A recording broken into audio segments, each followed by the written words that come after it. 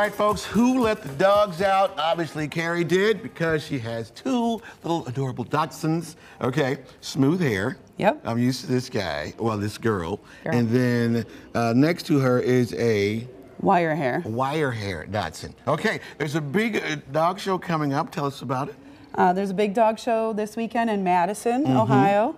Um, there will be shows Thursday, Friday, Saturday, and Sunday all weekend. and these, Jillian will be competing, the wire hair. Okay, the wire hair over here. Yeah. Phoebe the Smooth is retired. So she just sits at home on the couch. She's the queen. Yep, yeah, she's the queen.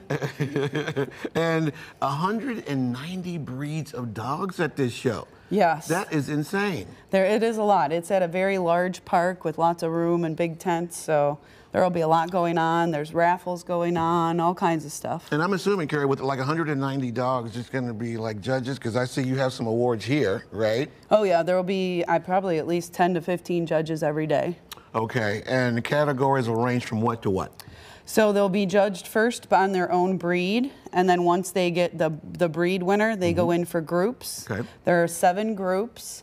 Um, you have the hound group, the toy group, and all that, and then each one of those winners go in for best in show. Gotcha. And uh, so Thursday through Sunday. Sunday with Mhm. 190 breeds, that has to be like huge. It right? is. It's very big. Uh, as we wrap up, you have a few awards here and tons of awards on this um, uh, this really cool bucket hat. We'll talk about that later. Okay. Yeah, very very cool. And the name of the show is. Um, it's the Grand River and Ashtabula Kennel Club show. All right, we'll be doing that all morning long. All right, back to you two cool cats uh, who are right over there.